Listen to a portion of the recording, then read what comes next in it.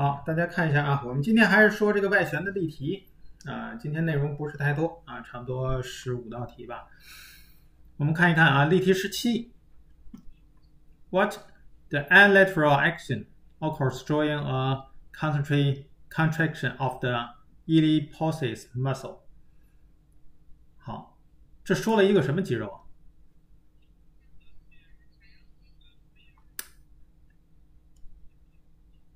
哎，几个关键词认出来了啊，单侧的运动，哎，向心收缩啊，CC 向心收缩啊，髂腰肌非常好啊。我们要学会看这个关键词，从而呢来简单的、快速的把这个题意了解一下。一个髂腰肌做单边的向心收缩，哎，我们看一下这个髂腰肌，髂腰肌在深层。好，这个就是髂腰肌啊。实际上，髂腰肌是两块肌肉，一个髂肌，一个腰大肌，啊，加在一起，这个叫髂腰肌啊。髂腰肌，髂腰肌单侧，而且他说一侧做向心收缩啊。什么是向心收缩？哎，其实就是收缩啊。向心收缩就是收缩，我们平时理解的收缩就是向心收。另外一种叫离心收缩，离心收缩不是我们正常想象当中的这个收缩，是什么呀？是拉伸。对啊，实际上拉伸呢，在我们这个学科当中，它不叫拉伸啊，叫离心收缩啊，肌肉全是收缩的，分为向心收缩和离心收缩。所以呢，他说这个髂腰肌做向心收缩。向心收缩的时候，啊，向心收缩的时候做什么动作呀？哎，做这样的动作啊，哎，屈和外旋，这是髂腰肌做向心收缩的时候啊，做这样的一个动作。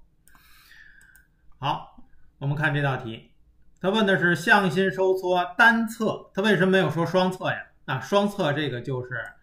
哎，人就弯下来了，对吧？那单侧是把这个腿提上来了。好，那么单侧的髂腰肌的向心收缩，它是做什么动作？A 叫做 posterior tilt of pelvis，这是什么呀？后倾斜关于骨盆，就是我们说的骨盆后倾啊，骨盆后倾。骨盆后倾是什么样的一个状态？哎，大家想，骨盆后倾是什么样的一个状态？骨盆后倾啊，这个叫骨盆前倾啊。骨盆前倾，臀部就翘起来了啊。骨盆后倾是这样，平背啊，这个叫骨盆后倾。好，B 呢叫做 extension and middle rotation，叫伸展和内旋。啊，伸展和内旋。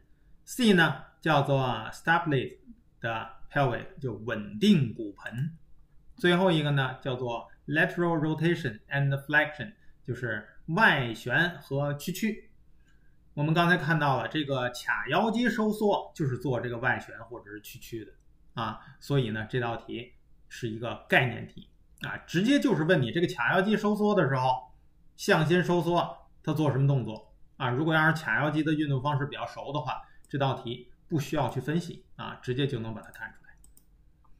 所以呢，一切的一切啊，还是以基础为最重要。你没有打牢这个基础，没有基础知识，没有概念，后面所有的技巧、所有的分析都无从谈起啊。所以大家一定要注意啊，基础知识一定要清晰、准确。好，我们看例题十八。What is the accurate contraction of the cervicales？这是什么收缩呀？哎，离心收缩，对吧？E C C 开头的，这是离心收缩。离心收缩就是说它拉伸、伸展，肌肉变长。给你的肌肉呢，叫做肩胛下肌啊，也叫肩胛内肌、肩胛下肌，在肩胛骨的前面啊，前内侧。那么这个肩胛下肌它正常的收缩变短，应该是做什么动作呀？内旋。哎，内旋，为什么？我们看一下图啊，肩胛下肌、肩胛内肌，它在肩胛骨的这个位置啊，在里面啊这个位置，所以它一收缩，肩胛骨带动的肱骨向前移动，所以做内旋啊，肩胛内肌做内旋。跟它对应的呢，叫做冈下肌，在这个位置做外旋。好，这道题问你的是离心收缩，离心收缩是这个肩胛下肌变长。正常的话，它收缩变短的时候是内旋，那么它变长的时候就是什么动作呀？就是外旋。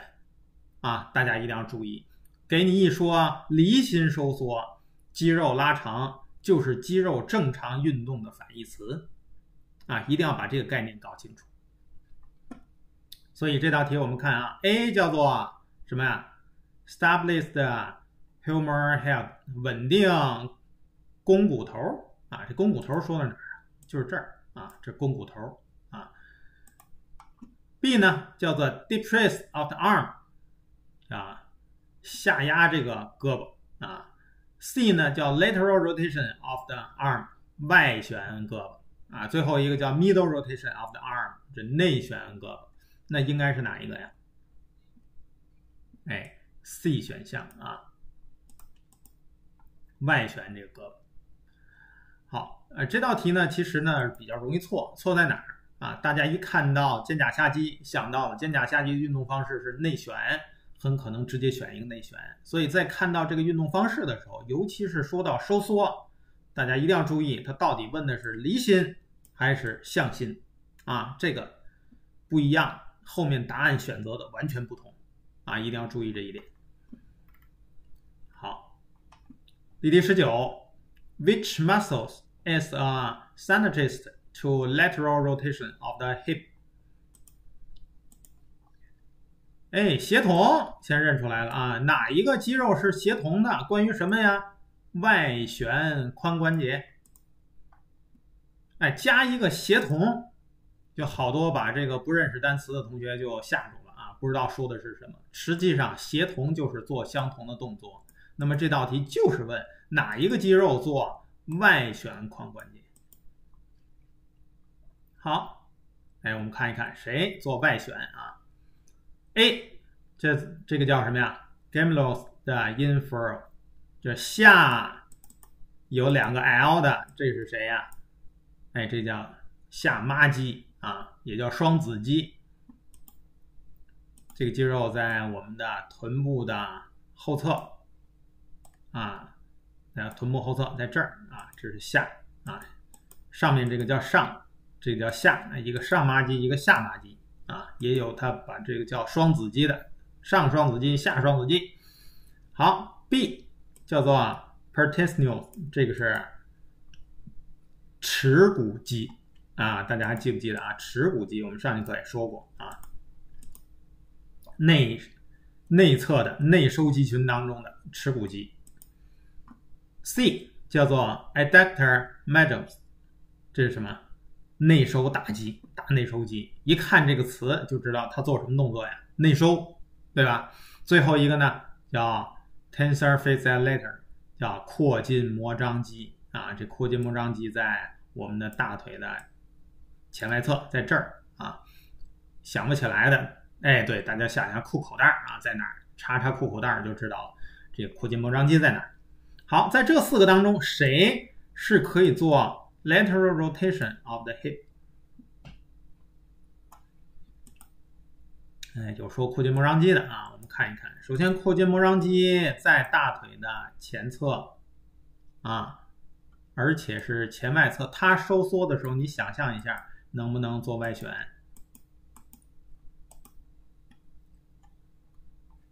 实际上呢，这道题啊，处于概念的基本阶段。我们在讲这个基础知识点的时候，跟大家说过，大腿有外旋肌群。浅层的外旋肌群和深层的外旋肌群，不知道大家还记不记得啊？在深层的外旋肌群当中，有这么几个小的肌肉，分别是梨状肌、双子肌，还有闭孔内肌啊，以及什么呀？这个叫股方肌。它们这几个肌肉是深层的髋关节的外旋肌群啊，专门做外旋的动作的。其中就有我们说的这个下马肌啊，下双子肌。对，哎。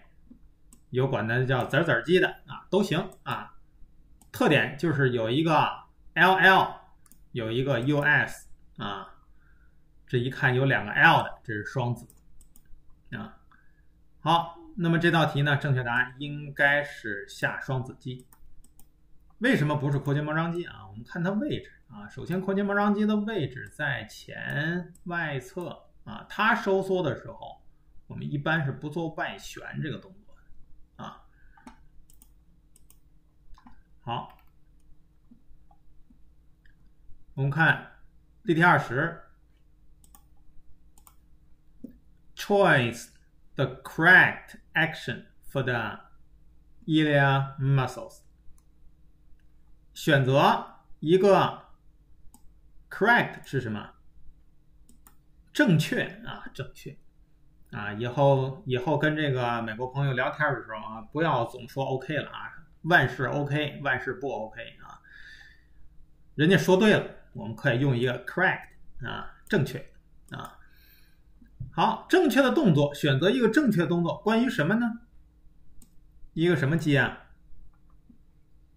哎，一个髂肌啊，这个叫髂肌，没有腰啊，只是 iliac，这是髂肌。髂肌的正确动作是什么？我们看一看，A 叫做 adduction。flexion and lateral rotation of the hip，这个叫内收屈曲和外旋髋关节。B 啊，叫内收 extension 伸展和外旋髋关节。C 啊，内收屈曲和 middle rotation，内旋髋关节。最后一个叫做外展 adduction。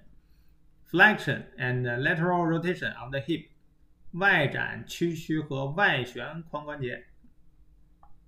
好，肌肉在哪儿呢？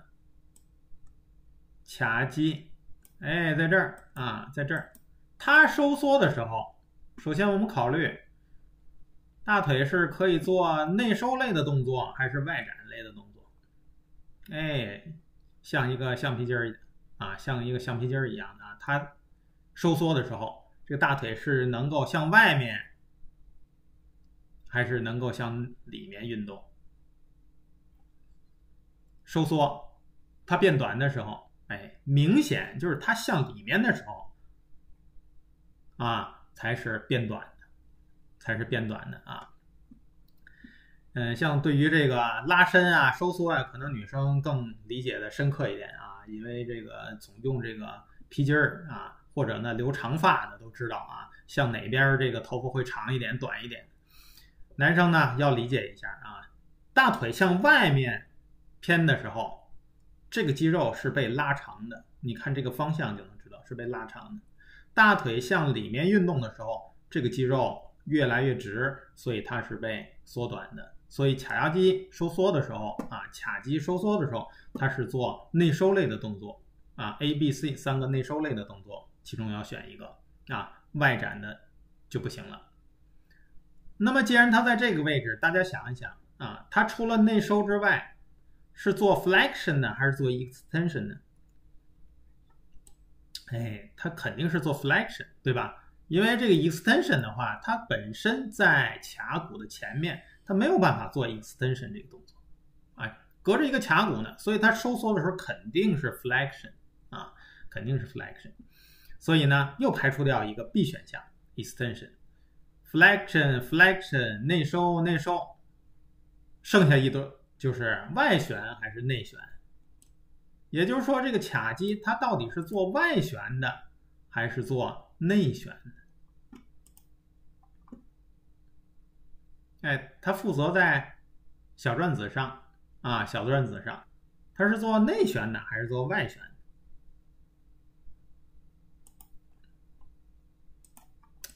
哎，这这是个问题啊，这是个问题。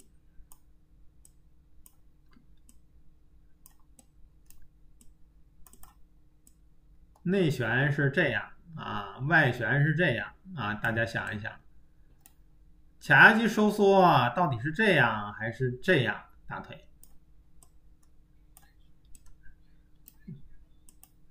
外旋啊，外旋啊，外旋啊，所以大家注意啊，这个髂腰肌非常有特点啊，尤其这个髂肌，它收缩的时候是做外旋啊，把这个要注意记住啊。这个当做概念去记，也就是这个髂肌是做外旋的，啊，大胯当中有几个肌肉，一个是髂肌，还有一个呢就是我们的缝匠肌，啊啊，髂肌和腰大肌基本动作差不多啊，这个还有一个是缝匠肌，啊，这两个动作呢比较特殊，所以呢我们要记清，髂肌收缩是做外旋，所以正确答案应该是第一个啊，A，内收、屈曲和外旋啊。这个是髂肌的运动方式啊，大家把这个要记住。髂肌的运动方式，它的收缩、内收、屈曲和外旋。好，例题二十一，Which action is the obturator intermos are responsible for？这是一个比较少见的肌肉。啊，这是一个比较少见的肌肉。对，后面叫负责什么动作啊？什么动作是这个肌肉所负责的？这个叫闭孔，O B 开头的，这是闭孔啊。一个眼睁着，一个眼闭上，睁眼闭眼啊，这叫闭孔啊。闭孔 inter 内肌啊，闭孔内肌啊，闭孔内肌。我们刚才说它是外旋肌群当中的一组，闭孔内和闭孔外。哎，子集里面这儿啊，鼻孔内和鼻孔外啊，它是这个样子的啊，是扁扁的，看到没？啊，这是鼻孔内肌，鼻孔内肌。中间的这个啊，中间的这个，它的上面是上麻肌，哎，下面是下麻肌啊，所以中间这个叫鼻孔内肌啊，鼻孔内肌。好，那么这个闭孔内肌什么动作它可以做？我们刚才说了，因为它属于外旋肌群当中的一个，所以它肯定能做的动作就是外旋啊，外旋。这道题就是一个概念题啊。答案分别是 A extension of the knee 伸展膝盖，B 啊，later rotation of the arm；C，later rotation of the hip 啊，D flexion of the neck。首先。这道题要注意，马达哈的同学啊，记住了，闭孔内肌负责外旋，看见第一个外旋就选了，这个就选错了。为什么呀？他说的是胳膊啊，这个闭孔内肌在什么地方？在髋关节，哎，所以在 hip 啊，很多同学就是这样啊，平时有的时候马达哈啊，上了考场之后呢，一紧张更马虎。就记着念叨着啊，这个是外旋，外旋，外旋。答案当中一看见外旋，马上就点了啊，就不注意后面啊，后面要看它到底是哪儿啊。A 和 D 呢，一个是膝关节，一个是我们的脖子，所以都不对啊，位置就差着太远了。好，我们看例题二十二，Middle and lateral rotation can be performed. At which of the following joints？内旋和外旋啊，在哪个关节可以既执行内旋也执行外旋？A 叫做脖子啊，B 就是 wrist 手腕啊，C 是 hip，最后一个叫做 knee 啊，膝关节。大家想想哪一个做内旋和外旋？哎，同学说手腕啊，还有吗？哎，还有说髋关节也可以啊。对于手腕和髋关节来讲呢，这个手腕啊，一般我们并不说它做内旋和外旋，哎，他们做的是内翻和外翻啊，叫做这个旋下旋上啊，旋前旋后做这个动作。为什么啊？你想象一下，这个旋是什么？是以这个关节为中心做旋转。大家可以把这个拿右手为例啊，拿左手你拿住了右手的这个尺桡骨啊，不要拿住这手腕。然后你这个时候握住了它，你让这个手做内旋外旋动作，你看它做得了吗？是做不了的啊！只要尺桡骨被控制住了，这个手是转不动的啊！大家自己可以试一试啊，这个手是没有办法转的啊！这个手做内旋和外旋，这个手臂在什么地方呀？在我们的这个肘关节转的啊，是肘关节转的啊，并不是这个腕关节转的，这腕关节不转啊，这腕关节是不转的啊。好，那么髋关节是可以的。因为髋关节我们是在我们的股骨头这儿啊啊，有明显的一个腕向轴啊，像我们肩关节也是一样，可以随便转啊。所以一般来说，做内旋外旋的基本都是三个地方啊，一个是髋关节，一个是肩关节，还有一个是肘关节啊，肘关节这儿啊，这儿可以做这个。内旋外旋的这个动作，嗯所以这道题正确答案应该是髋关节，哎，髋关节。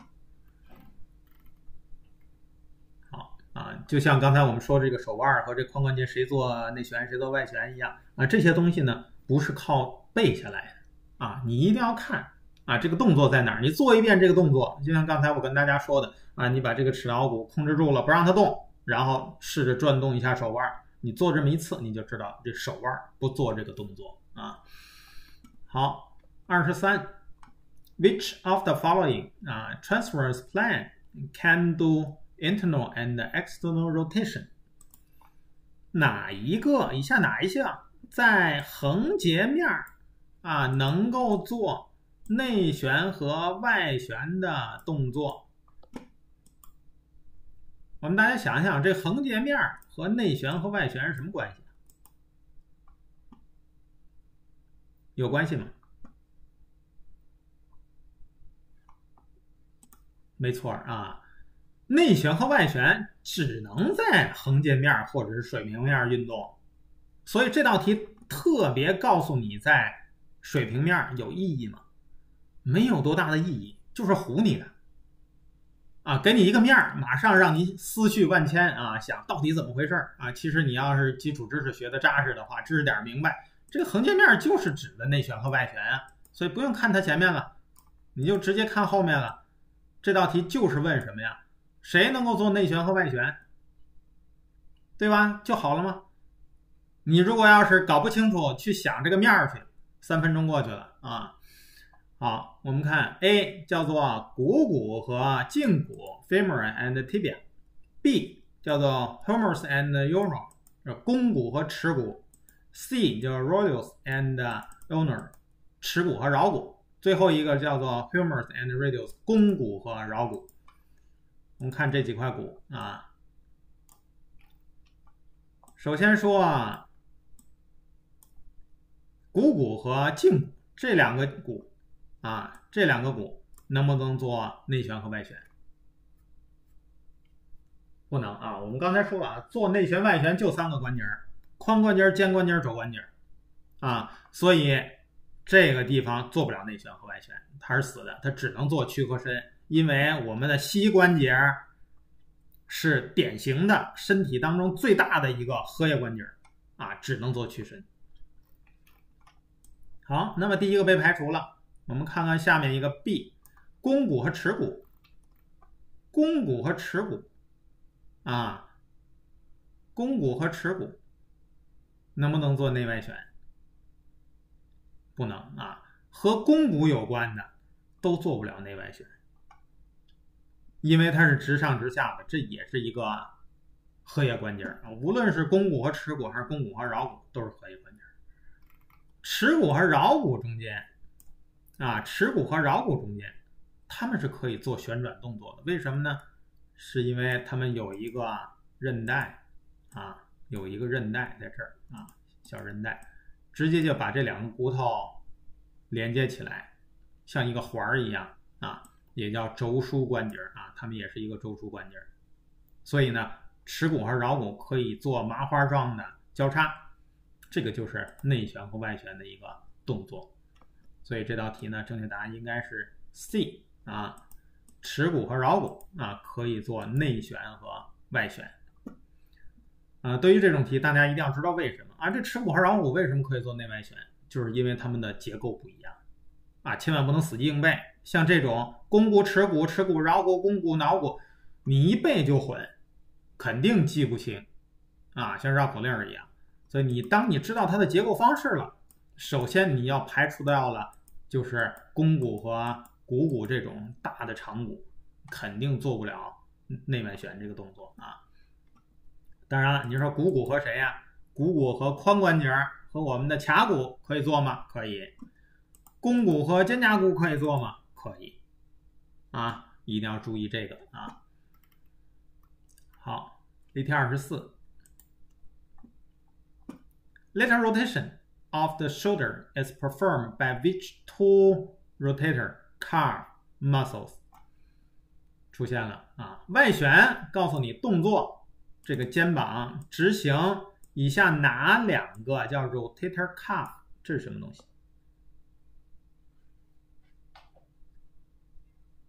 它有一个专业的名词啊，它这是个专业名词，叫做肩袖肌群啊，袖子的袖啊，肩袖肌群叫 rotator cuff 啊，大家一定要注意这个啊，一定要认识啊，rotator cuff 是在我们运动机能学当中的非常重要的一个。专业名词啊，叫肩袖啊。这个肩袖包含了四块肌肉。哎，有哪个同学知道是哪四块肌肉？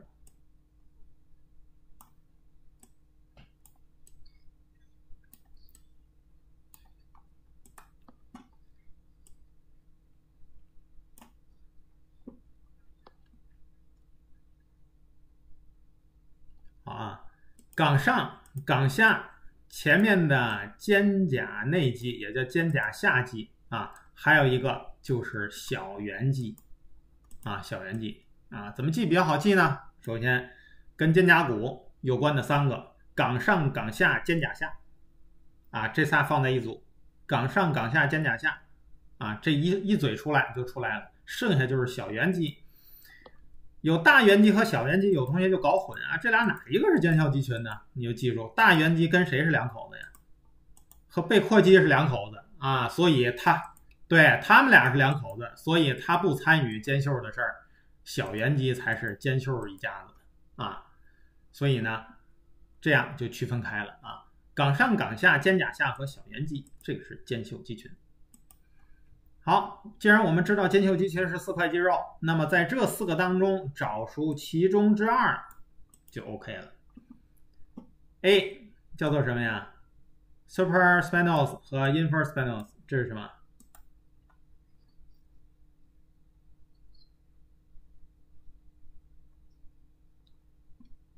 哎，冈上冈下。B 呢？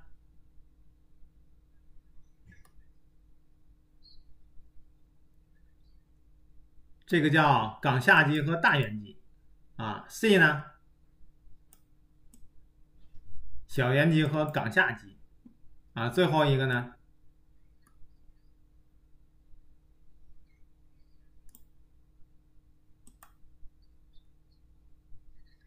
冈上肌和肩胛下肌。哎，好，A 也是肩袖肌群，对吧？然后 C 也是肩袖肌群，D 也是肩袖肌群，唯一有大圆肌的不是啊。那为什么三个都是？我们怎么选呢？这道题还有另外一个条件，在肩袖肌群当中做 lateral rotation 外旋动作，也就是谁是外旋的？我们看 A、C、D 这三个哪一组是可以做外旋的？我们看冈上、冈下当中。冈上做什么动作呀？冈上做什么动作？还记得吗？哎，冈上做外展啊，两个肩部做外展的肌肉，冈上肌和中三角肌啊，要倒背如流啊。好，首先他做外展不符合条件，拿掉。B 已经被拿掉了啊。我们看 C 小圆肌做什么动作？外旋。这个冈下肌做什么动作？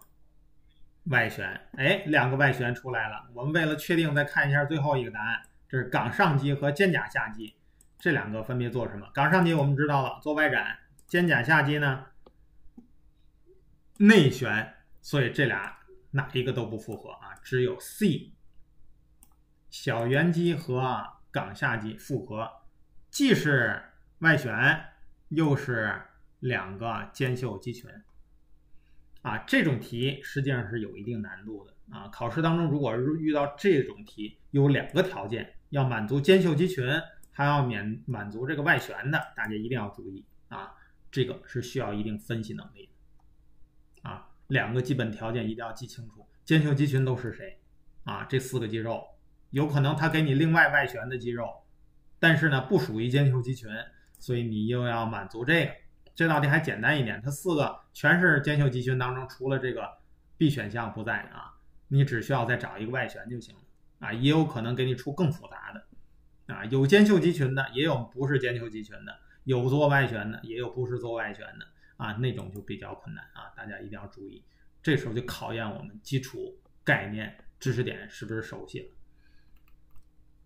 好，我们看第二十五，这道题有点意思啊，很长，In a pre-massage assessment, a client uh, states they are expressing a painful uh, season in their shoulder, only drawing cranton movements. The massage therapist asks the client to demonstrate the action they are causing pain and the action they are not. The client perform lateral rotation and extension the shoulder to demonstrate action they are causing pain, and midly rotation and flexion the shoulder to demonstrate action that do not cause pain. Uh, which of the following has occurred？这是整个这个题啊。答案呢，就是说 A 叫做 the client and the massage therapist they have the perform and the active assistive joint moment. B 叫做 The client has performed an action joint moment. C. The massage therapist has performed a passive joint moment. D. The client and the massage therapist have performed a restive joint moment. 大家看看这道题有什么特点？ 哎，当你看到答案的时候，你发现它主要问的是什么？问的是这种属于哪一个类型的关节运动？是主动的呀，是被动的呀，是辅助的呀，是抵抗的呀？哎，他问的是这个东西啊，这就是问题的方向，你就照着这个方向去分析这道题目。那再看看这道题目，洋洋洒洒写了五行半，他说了一件什么事儿呢？啊，这道题比较有意思啊，我们看一看。他说呢，啊，首先我们想一想啊，根据这个答案。这个解题的方向是要找它的运动方式。那么我们带着什么样的一个目的去看这个题目呢？我们需要找什么样的关键词呢？我们需要找的关键词是到底是客人在动还是按摩师在动？啊，大家一定要注意啊！如果要是他问的是运动方式啊。主动的、被动的，我们一定要带着这么一个目的去看这道题：到底是客人在动，还是按摩师在给客人动？谁在动这个身体？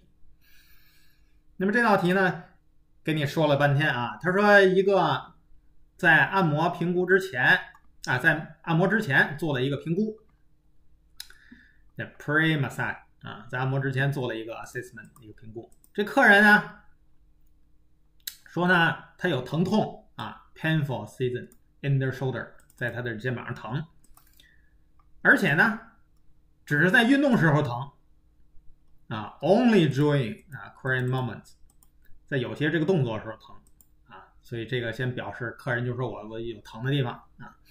然后呢，这 massage therapist 这个按摩师啊，ask 要求啊，这里可不是问啊，这是要求啊。这客人呢做什么呀？demonstrate 做一个这个示例啊，给你给我演示一下吧，你到底怎么个疼啊，对吧？这个动作 causing pain，这是哪一个动作导致了这个疼痛？And the action they are not，关键是这几个 not 啊，给大家搞懵了。这按摩师的要求啊，就是你给我做做看这个动作，什么动作啊？你疼？什么动作呢？你不疼？然后这个时候呢，这客人呢执行一个外旋和伸展的肩关节的这个演示动作，然后呢，cross pain 疼了，并且呢，它内旋和屈曲这个肩关节的时候演示的时候，这个动作呢不疼啊，所以哪一个是？导致的这个表示的一个这个是什么事儿？那到底它这个外旋、内旋、屈曲、伸展有意义吗？没有意义，没有任何的意义啊！他跟你说了半天这个动作没有任何的意义，它疼还是不疼啊？意义大吗？有一点儿也不大啊！重要的就是你要看明白。按摩师要求客人 demonstrate the action 做这个示例，然后呢，这客人 perform 执行了这个示例，你就 OK 了。只要你能看懂这几个词，能够理解到这个位置，这道题基本就出来了。按摩师让客人做动作，客人做了动作了，某些动作疼，某一些动作不疼，就是这么个事儿。那么这个属于。主动关节运动、被动关节运动、辅助关节运动还是抵抗关节运动啊？主动关节运动，典型的一个主动关节运动。客人动啊，按摩师看着，按摩师一点都没动。所以呢，这道题正确答案应该是 B 选项啊。客人执行一个主动的关节运动。其实这道题非常的简单，一点都不复杂啊。复杂的是我们的阅读能力。啊，这个理解能力能不能找到它的重点？如果要是考试当中遇到类似的题，啊，大家要注意，首先要判断它的解题思路方向是哪。你找到这个方向了，再去题目当中寻找对应的关键的表示状态的词，就会容易很多。啊，容易。如果要是这道题直接你去念这个句子，你想把这个事儿搞明白。你肯定会把重点放在动作上，内旋呐、外旋啊、屈曲啊，你脑瓜当中想半天这个动作，结果怎么样？错过了最重要的啊！这就脑筋急转弯题啊！最重要的就是他问的你是做什么运动方式啊？好，我们看看这个第二十六，叫 when performing 啊 passive range of motion assessment of the hip。the practitioner noticed that external rotation is the moderately restrict what muscle can maybe cause the decrease in range of motion。 当什么时候做被动关节运动评估的时候，哪个关节呢？hip 髋关节。啊，这个时候这个按摩师啊，注意到了，标注下来了。外旋啊是什么呀？受到了一个 restrict，受到了限制，就是外旋做不了。哪个肌肉导致了这个关节运动的减少 decrease？外旋受到了限制。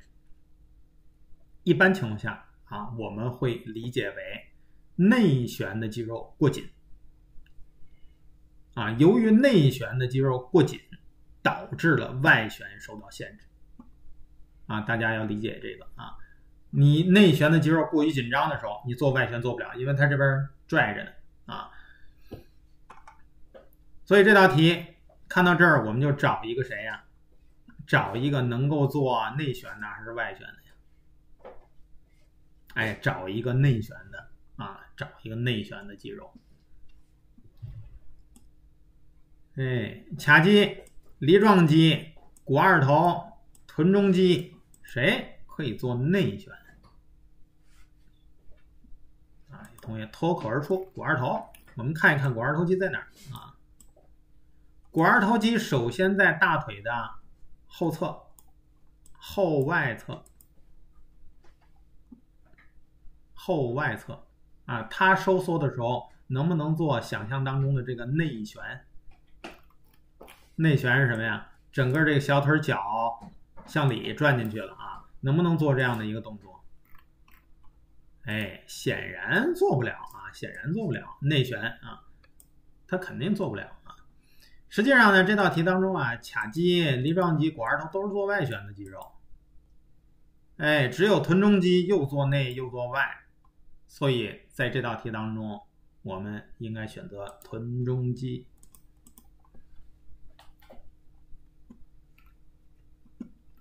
好，例题二十七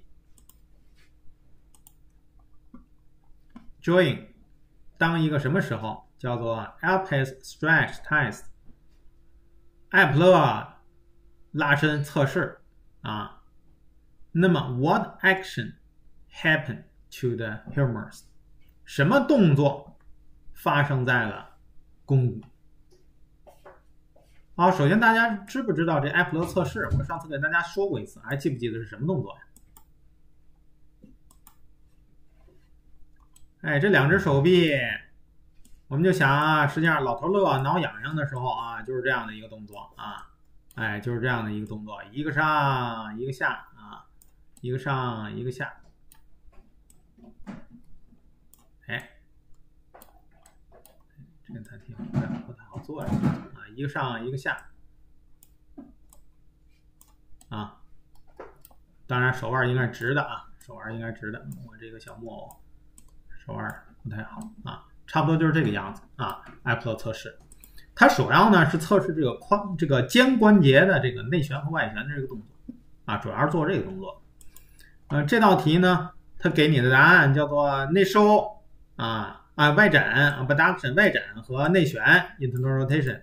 外展和 external rotation 和这个外旋，屈曲和 extension 伸展，和和这个 external rotation 外旋，extension 啊拉伸和 internal rotation 内旋。那么正确答案呢，给你的是这个外展和外旋啊。我们暂时呢就把这个记一下，外展和外旋。实际上啊，这个它是内旋和外旋。啊，应该是内旋和外旋。如果答案当中有内旋和外旋，就是最正确的一个答案。所以这道题实际上出的是有点问题的啊，应该有一个内旋和外旋的答案，才是真正的这个艾普勒测试的用意啊。它的动作就是做内旋和外旋的。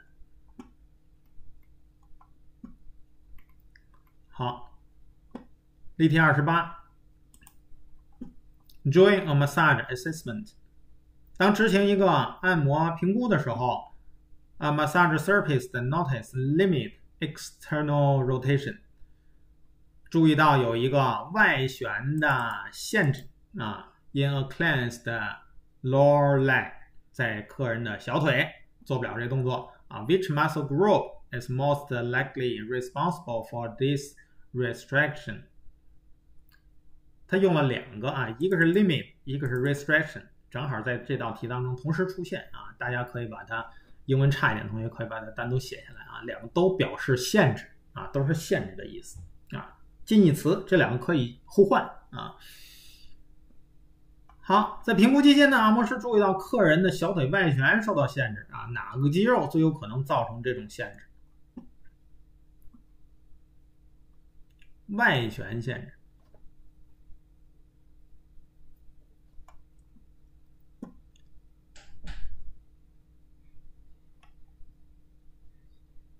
瓣膜肌、瓣膜肌、股直肌、股二头、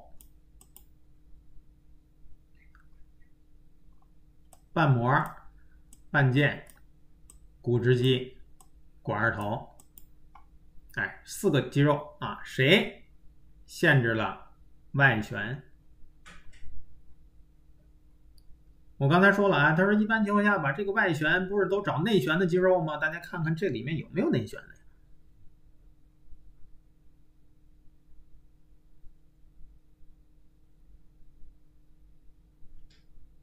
有没有？这里面没有内旋的肌肉，大家发现了吗？这里面没有内旋的肌肉。既然没有内旋的肌肉，我们就要找一个外旋的肌肉了，因为它唯一的一个动作就是外旋，external rotation。我们看一看啊，半膜半腱做外旋吗？不，不做啊。他们就是做什么呀？做 extension 大腿。股直肌做吗？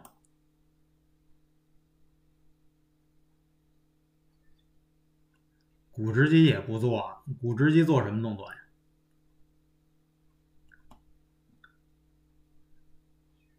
屈髋伸膝啊，像股直肌这种出现频率极高啊，非常网红脸的这么一个肌肉啊，大家一定要脱口而出啊！一说到这股直肌做什么动作？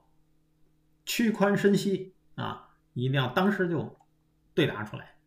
这里面做外旋的就是这股二头啊，股二头做外旋，所以呢，我们选这个股二头肌。我们看看这个位置啊，还是刚才这个位置，股二头，瓣膜瓣腱啊，瓣膜瓣腱。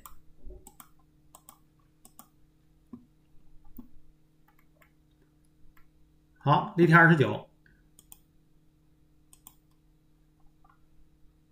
A client who has uh, difficulty in lateral rotation of the hip may have tight。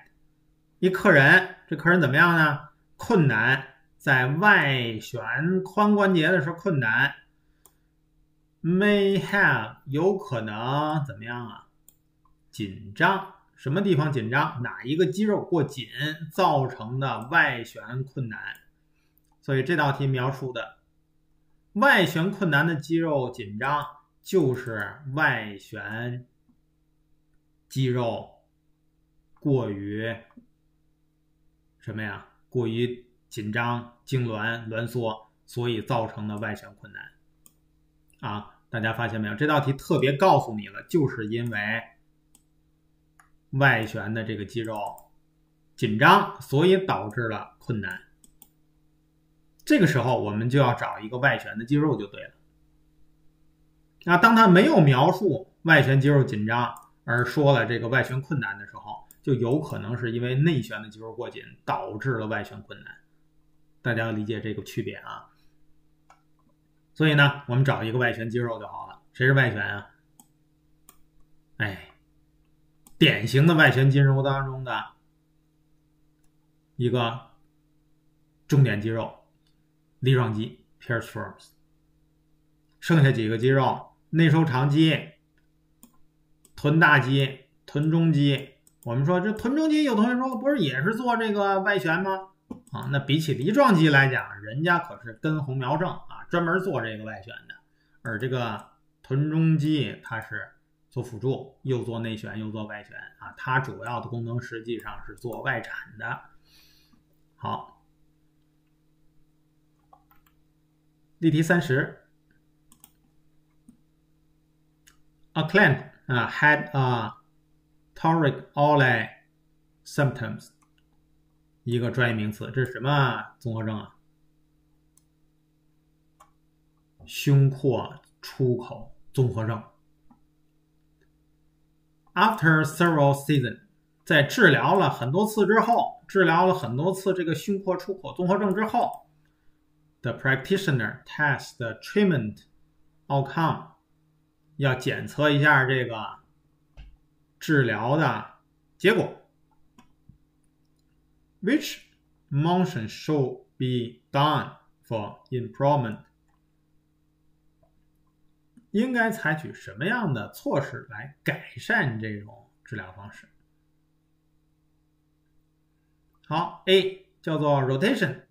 At the same side of the chest，旋转同侧的这个胸，哎，chest 胸。B 叫做 lateral flexion at the same side of the chest，就是外屈同侧的胸。C 叫 lateral rotation of the glenohumer joint，外旋盂肱关节。D 呢，叫做 flexion of the humerus，屈这个肱骨。好，我们看看这几个动作啊，说的都是什么啊？一个呢叫做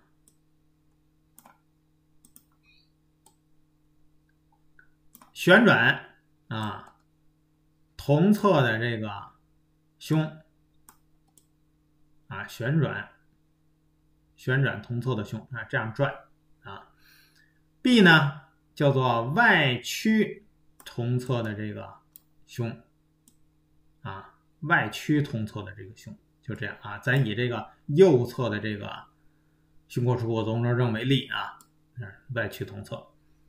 C 呢，叫做外旋盂肱关节啊，外旋盂肱关节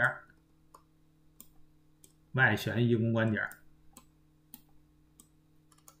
盂肱关节外旋啊。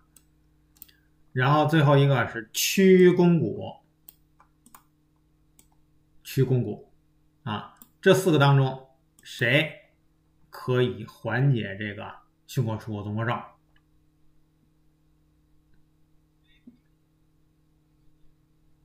哎，比如说外旋这个盂肱关节啊，外旋盂肱关节呢也可以有一些效果啊，但是最主要的、最明显的是侧屈这个胸部啊，侧屈这个胸部。因为啊，当你侧屈的时候，当你直接侧屈的时候啊，所有的你的胸廓出口综综合症当中的涉及到的肌肉都会放松下来，全部都会放松下来啊，包括我们的歇脚肌，还有我们的这个胸小肌都会放松下来。这样的话呢，一放松下来，症状减少。啊，就能确定这是胸廓出口综合征。你做这个测试就是干这个用的。好，例题三十一，How to treat clan 啊，with the thoracic o l e syndrome？怎么样治疗这个胸廓出口综合征？哎，同学说跟那一样啊，哎。A 答案是内旋肩膀同侧，B 外旋髋部 supported side 啊，横向旋转，然后这个外旋肩膀 same side，D 这是外旋肩膀的 opposite 啊对侧。首先呢，我们要排除一个是什么呀？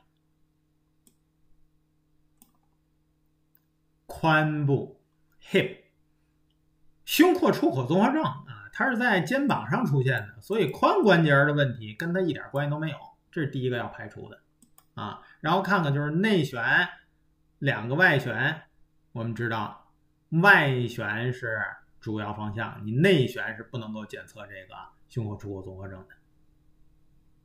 为什么内旋不行？我们为什么要外旋或者是外屈来检测这胸廓出口出口综合症啊？就是为了要拉伸这个胸小肌。